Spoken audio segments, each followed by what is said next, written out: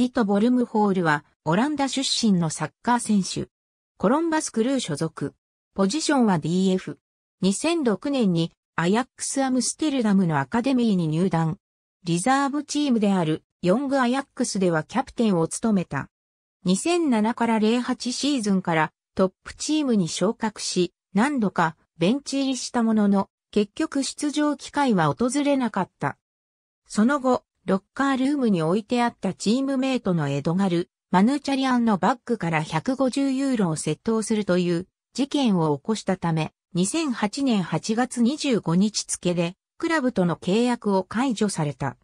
2008年9月2日、FC ユトレヒトと2年間の延長オプション付き2年契約を結んだ。2009から10シーズンは、エールステディビジに所属していたデフラーフスハップにレンタルされた。主力としてこのシーズンのリーグ制覇に貢献し、FC ユトレヒトとの契約満了後に2年間の契約を結んだ。2012年3月26日、アドデンハーグと4年契約を結んだ。2016年にノルウェーのオーレスミ FK と契約を結んだ。2017年から SK ブランに移籍。